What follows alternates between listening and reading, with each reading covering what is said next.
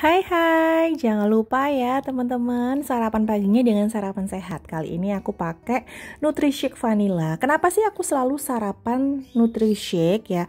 Karena Nutrishake ini kandungannya lengkap banget teman-teman ya.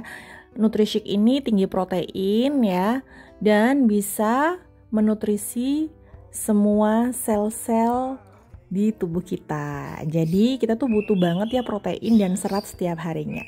Oke, ini ada bahan-bahan yang udah aku siapin ya teman-teman ya. Dan di antaranya bahan-bahan tersebut itu ada 25 gram Nutrishake Vanilla, ada 100 gram granola creation dan 100 gram apokat. Kemudian aku pakai air dingin 150 ml ya granolanya aku pakai ini ya granola creation. Oke langsung aja dimasukin ya. Kita mau bikin smoothie 150 ml air es ya ada es batunya juga dan air. Terus 25 gram Nutrishake vanilla ya dimasukin. Terus aku masukin apokat ya apokat mentega. 100 gram kurang lebih ya atau bisa kurang ya. Terus aku blender Oke, langsung aja kita blender. Nah, udah deh proses, udah halus ya. Cantik banget warnanya. Ini akan aku jadiin smoothies ya karena aku pakai uh, apokat. Biasanya kalian juga bisa ganti dengan pisang. Nah, langsung aja aku masukin mangkok smoothiesnya. Wow, jadinya banyak banget dan ini kenyang kenyang banget teman-teman.